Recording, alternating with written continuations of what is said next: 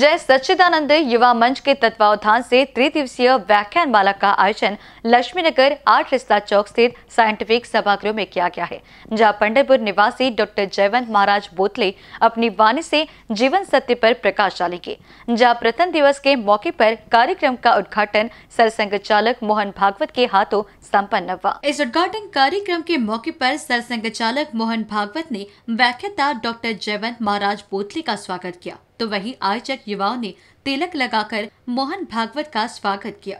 इस मौके पर बोलते हुए मोहन भागवत ने कहा कि कलयुग के इस भ्रमक युग में सभी रहस्यमय सत्य की खोज में लगे हुए हैं। किसी को भक्ति और श्रद्धा में पाखंड नज़र आता है तो किसी को जीवन का मूलाधार। परंतु मेरी माने तो श्रद्धा कभी भी पाखंड या अंध नहीं हो सकती है, क्योंकि श्र अर्थात श्रम, जो हम किसी वस्तु को पाने के लिए करते हैं, और तन मन न्यौछावर कर उस चीज़ को पाने की होड़ में लग जाते हैं। और उसी के बाद जो प्राप्त होता है, उसे हम पूर्ण श्रद्धा कह सकते हैं। श्रम से धारण या प्राप्त की गई वस्तु या वृत्त, अर्थात श्रद्धा, जिसे तेजस्वी युवा स्वामी विवेकानंद ने पाया था और हमें भी पाना है। इस वक्त उपस्थित श्रोतागणों ने विचार मंच का करतल ध्वनि से स्वागत किया।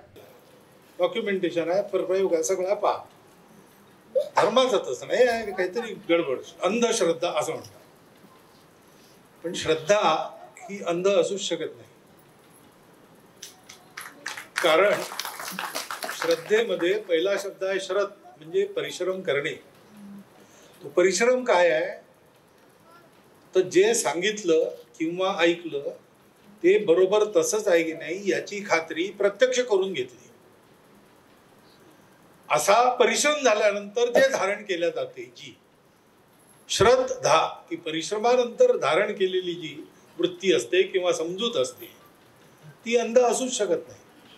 आपल्या भारतात उत्पन्न झालेल्या कोणत्याही विचारधारेमध्ये आध्यात्मिक विचारधारेत विश्वास ठेवा असं म्हटलेलं नाही. परीक्षा करा आणि परीक्षा करून स्वीकार करा. आणि नीट परीक्षा करून जे स्वीकार केला आहे मग त्याच्यावर डोळे मिटून चाला. डोळे मिटण्या अगोदर पुन्हा डोळे उघडावे लागणार नाही इतकी खात्री करून त्याच्यामुळे विवेकानंद फिरले. लहानपणापासून त्यांना ती तळमळ होती. सत्य काय जाणून घ्यायची. तर ते ज्यांचं नाव होतं त्यांना जाऊन विचारायचे. तत्व बित्व ठीक आहे पण देव तुम्ही पाहिला का? तर त्यांना काही कोणी सांगू शकत नसे मी पाहिला असं म्हणणार नाही भेटलं देवेंद्रनाथ ठाकूर रवींद्रनाथ ठाकूरांचे वडील त्यांच्याकडे गेले. त्यांना विचारलं. तर ते म्हणे अरे तुझा प्रश्न तुझे डोळे तेजस्वी आहेत. तू काहीतरी ते म्हणे ते मला नाही ऐकायचं. माझा प्रश्न सरळ आहे देव पाहिला का?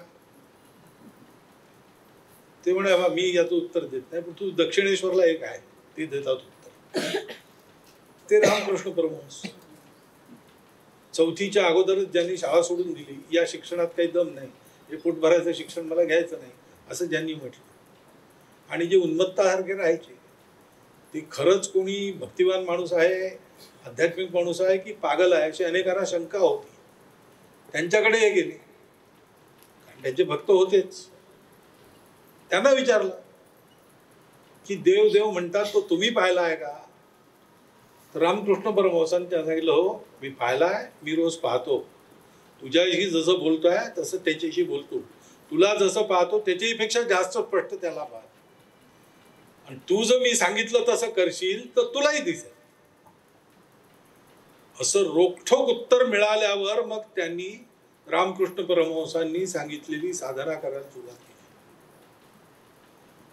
आणि खात्री करणं संपलं नाही. रामकृष्ण परमहंस मृत्यूशय्येवर होते.